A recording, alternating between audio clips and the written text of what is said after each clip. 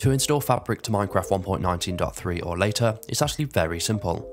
So the first thing we need to do is to open up our Minecraft launcher, and you want to select the correct version that you want Fabric for. In this case, we're going to use 1.19.3, and then you want to click on play. Okay, so Minecraft has been loaded up, which means the correct files have been downloaded to our computer, so we can go ahead and quit the game.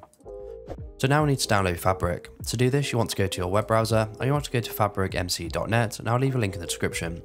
Once here, you want to click on download for Windows if you're on a Windows computer, but if you're on another operating system, you want to use the download universal jar. So in this case, I'm going to click on download for Windows, and we're going to save the installer to our desktop. We also need to download the Fabric API so we have full support for mods, and to do this you want to click on the Fabric API download link, and this will take you to the CurseForge website, and from here you want to click on the Files tab, and then you want to search for the version of Minecraft that you want to download the Fabric API for. So in this case we're using Minecraft 1.19.3, so you want to click on the download file link, and then you want to wait a few seconds and your downloads will automatically start. And in this case, I'm going to download the Fabric API to my desktop, just as I did with the installer. So the next step is to install Fabric, and to do this you just want to open up the Fabric installer, and it should look something like this.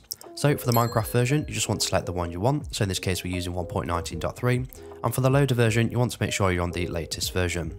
You then want to make sure your install location is correct, in this case it is, and once you're ready, you want to make sure create profile is ticked, and then click on install.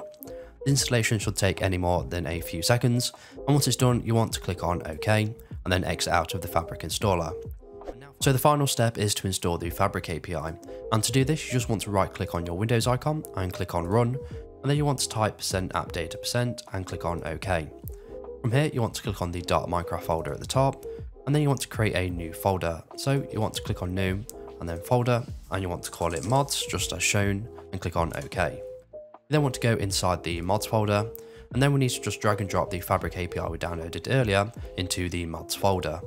This is where you're going to download and install all of your Fabric mods in the future, just like we installed the Fabric API. So to play the Fabric version of Minecraft with your mods, all we need to do is open our Minecraft launcher, and then on the version drop down menu, you want to select that, and then you want to select the Fabric loader. If you don't see this, you may need to restart your Minecraft launcher.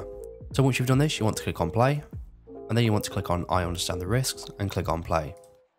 So when Minecraft loads up, you know you've done this correctly because it will say Minecraft version number slash fabric and then modded in brackets. You can go ahead and start playing Minecraft with your mods just as you normally would. And that's it. So if you have any questions or comments, leave them below and I'll reply to you as soon as I can.